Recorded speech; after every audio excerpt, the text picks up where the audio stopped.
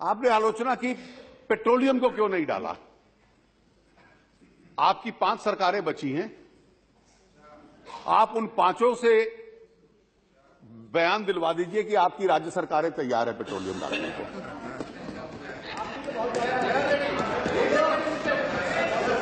दीपेंद्र जी, आपको मैं अब इसकी इतिहास पेट्रोलियम का बता दूँ।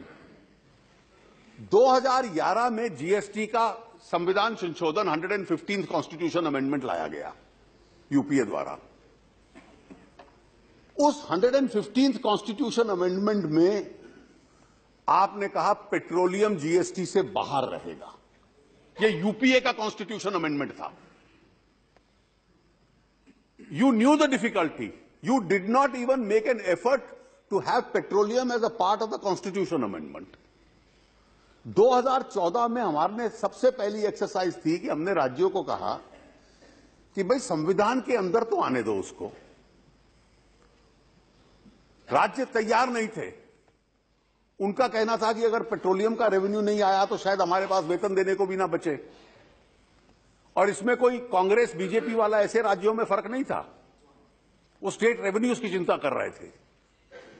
लेकिन हम, मैंने उनको परसुएड किया कि कॉन्स्टिट्यूशन अमेंडमेंट को ब्रॉड बेस कर देते हैं और पेट्रोलियम को उसमें ले आते हैं।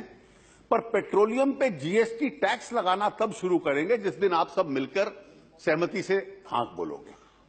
सो so, आज जो व्यवस्था है today the situation is petroleum is a part of GST but it is zero rated in GST it will get taxed as GST once the GST Council decides.